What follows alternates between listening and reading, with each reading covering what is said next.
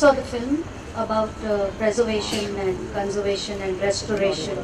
And I feel, uh, I've been talking to Shivendra, that my book is associated with that, that unless you preserve and unless you restore, then you're not able to otherwise document it and research it. Like I had so many uh, hardships in collecting things from the past. And you are somebody who has always felt very passionately about this, spoken eloquently about this. I just felt that um, in India we don't have the habit of any kind of documentation. And a lot of our valued heritage has been lost or is getting lost every day. Um, I'm really thankful to Shiven for um, initiating the heritage concept. Uh, I was there for the inauguration when we introduced uh, the institution that is now going to be looking after the heritage of films. And I have volunteered to work in this cause and uh, Shiven, anytime as always, uh, when you shall need my services, I shall always be there. But really, uh, it's, it's wonderful to have Bhawana put all the thoughts together. The generations to come will, will want to know what happened in the early years. And uh, there really is no reference point for it. And I think that uh, for somebody like her to put across the 100 years of cinema in the form of a book which is not like reading a book, it's more uh, interesting to, to watch it, to go through it in a very fun way.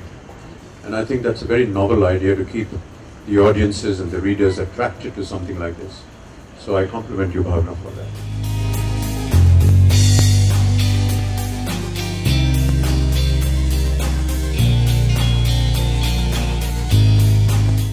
Coming to the occasion, the reason we are all here. Out of all the performing arts, cinema is the most sensitive and the most effective medium. Cinema has the power to transform our lives, to transform our mindsets. Human life is mortal, but cinema is timeless. It told us stories yesterday, it tells us stories today, and it will tell us stories tomorrow. Stories of romance, stories of relationships, stories of friends, stories of family. My endeavor in compiling this book was to recreate images and motifs like the bioscope we used to watch in childhood. Trust me, to find a publisher for this kind of a book was very difficult. The question uh, I was asked was, what are the current uh, controversies that are there in the book? The focus is so much on controversies and current trends, and everybody wants anecdotal. How can, my argument was, okay, how can I, if I am documenting milestones, get into the sidetrack of trivia?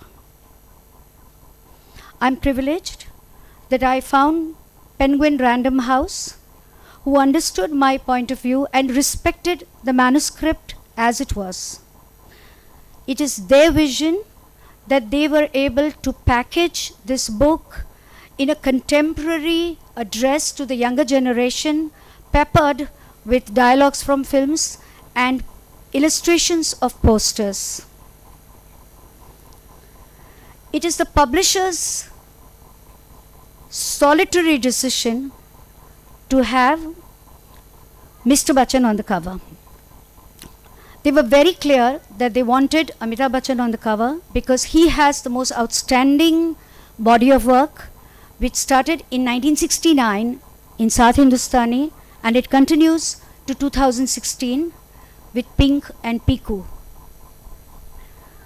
The conflict was which of Amitabh Bachchan's movies still should be put on the cover. They decided on Amar Akbar Anthony because, in their words, it brings a smile to their face.